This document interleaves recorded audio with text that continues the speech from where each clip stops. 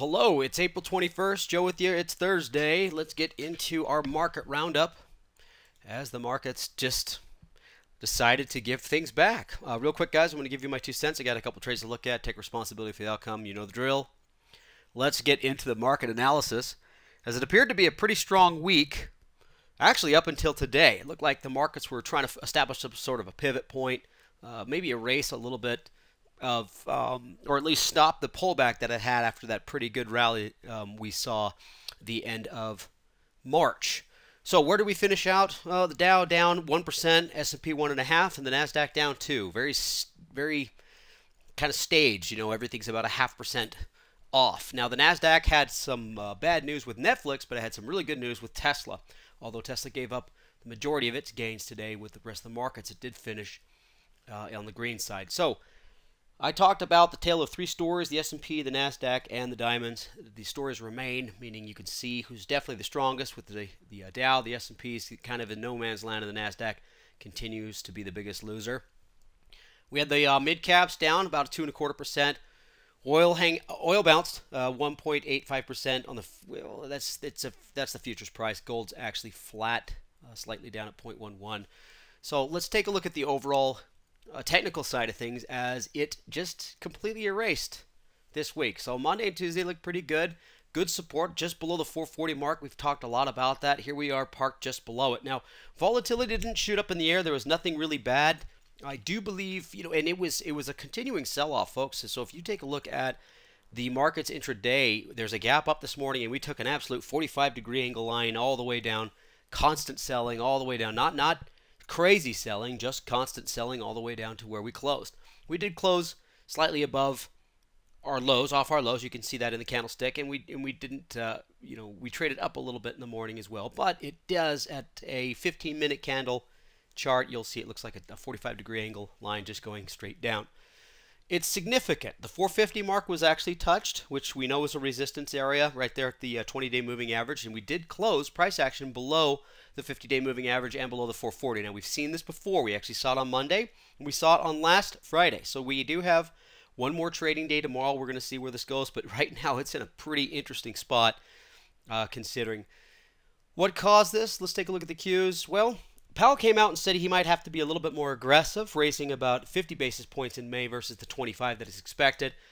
We did have some pretty good economic news. We had jobless claims remaining pretty low, about 184, pretty much in line with expected, and we did have show uh, some an expansion in some of the um, in the services. I believe that's what came out. And so it showed that we're still on track. Uh, the consumer's still out there spending money, and so We've made mention that as long as the consumer can keep up with inflation, it should be okay. I do believe something's got to give down the road. I think that's what the Fed has seen. Once again, there's my opinion.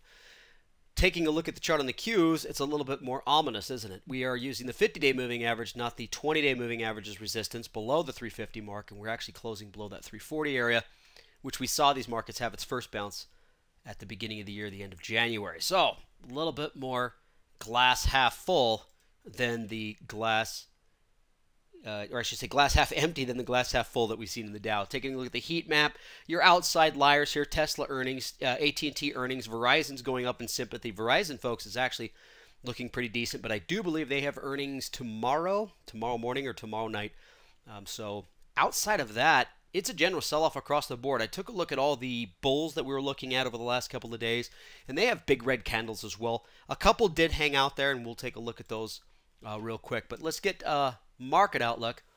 I have to score this based on you know our three our three our three inputs here below the 20 day below the 50 and the, the slope. They're all red right? So i went ahead and said you know what? I'm just going to go ahead and give it a negative one. Why isn't it a negative two? And why is my monthly outlook zero? And i'll tell you flat out folks it's because we are we are still hanging on to this support level right? Should we call that uh, what's the new one? A 438, 437 and a half, whatever we want to call it. We're we're parked there for a reason. Now tomorrow we can completely blow through that, and now then I could move my monthly outlook to a negative one and my weekly to a negative two, and I could get a little bit more bearish. It's one day. It's one large candle. It wiped out the majority of the week's move.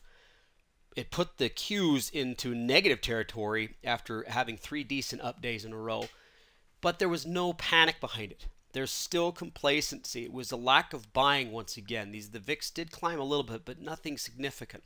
So I have to just sit back and play it as this lazy. You know what? I'm cautious here. I'm not running out to look for any bulls definitely tomorrow, uh, but we'll see what tomorrow brings. So I'm just going to sit right at that negative one for uh, tomorrow, and the, at the monthly, I'm just going to stay to zero. Really tough markets this week. So potential trades, we've got some bulls, we've got some bears. These carried through from Monday and Tuesday and yesterday's class as well. What I liked was the IYR, this real estate trust. Uh, Corey made mention, I, believe, on geez Tuesday was that Monday or Tuesday, and uh, it did break out yesterday. Looked really nice. Good breakout above that 111 mark, 110 and a half, and it gapped up and it came down as well with the rest of the markets, but it's parked itself above that resistance. So I still like it as something sideways. It's holding in there. And that's going to be the theme of the next couple of slides as well. Here's AJG. This came from yesterday's class. Nice confirmation of a bull pullback. Beautiful shadow on that hammer candle on uh, would you go? That's Tuesday.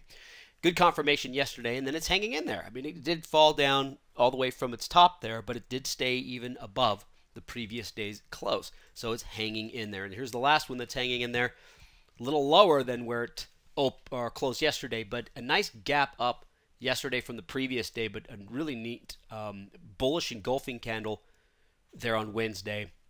We had a target here, 174 soft target, stronger target at 176, and I actually hit that in two days. So slow playing this, you're going to be in for the long haul, but it's behaving correctly. You know, if we can get this thing above that 176 level, can stay there, it might look to uh, continue to go sideways or up. So vertical spread doing pretty good. Diagonal spread would be nice as well. Something a little bit more obvious on the bear side, Twilio. This one was on the bear watch list for a little bit. It's almost there. I wouldn't be upset if anybody got into this the bear side today. It did confirm kind of below a little bit of a support it set over the last three days, but the main support's going to be down here at about that 123 level. Let's call it 124. So it might get that tomorrow. Keep an eye on that. Real quick, guys, as I'm going through these, I haven't checked earnings. I imagine they're going to be coming up in the next week, week or two. So uh, keep that in mind. Coinbase, beautiful confirmation of a breakdown. It tried to bounce three days ago like everything else did on Monday. Looked like it was going to retest that 160 mark yesterday and it didn't even get there. Rolled right over. And nice increase in volume as this broke. So good confirmation. This would be a beautiful one to be in now. If not, keep an eye on it. And hopefully it doesn't gap down. Hopefully it kind of floats itself down uh, for you to jump into it if you guys are looking to get into more bears. And then here's DigitalOcean. This one's not quite there. I like this. You could see, let's see if I get my pin out here, draw a straight line. I do like it. I think it's it's got potential right around this area. So you can see it's still not quite there. I wanted to see, I wanted to break what it, what it, where, uh, where it had that engulfing candle the end of February and that first pivot low middle of March. So what do we want to call that here? 44, 43. Be patient with this, but boy, if we get a rollover uh, tomorrow or follow suit with what happened today, we could easily see this kind of drop pushing towards that 40 level. All right, so what do we got? Well, not much. The markets move abruptly lower, and it was I, I, it, why I say abruptly is because it's outside of what was going on for the week. We gapped up. I expected, hey, good follow through from the previous day. We had a good move on Tuesday. Wednesday didn't do much. Figured it would gap up and we'd we'd go where it was. The Dow actually looked really really strong, but this 45 degree angle, this constant selling throughout the whole day was very interesting. And, and I got some stuff here. Uh, you can see the Dow still hold on to its week's gains. The S&P and the Nasdaq are struggling. The Nasdaq's actually negative for the week. The S&P is barely holding on to anything. But the jobless claims remain low. Leading indicators, that's what it was. Sorry, folks. I hope I called it the right thing the first time. But leading economic indicators still show expansion. So we're keeping up with the inflation. As long as it as long as we're expanding along with the inflation, this this will be okay to stay up. But as soon as we start to contract, that inflation doesn't come down.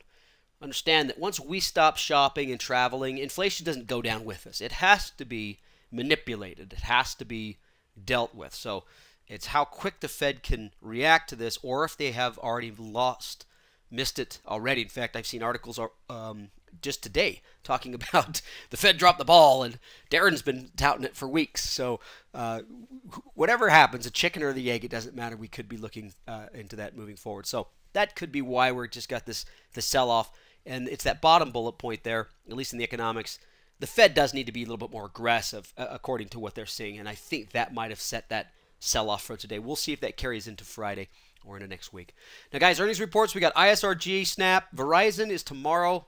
Uh, ISRG and Snap are out right about nowish. Uh, Verizon, American Express, Newmont, and, and Schlumberger are uh, on the docket for tomorrow. And then we got a whole bunch of stuff next week. So it's where you find it. Make sure you check earnings before you make any trade, guys, and we'll see what happens tomorrow. Thanks for joining me. We'll talk to you next time.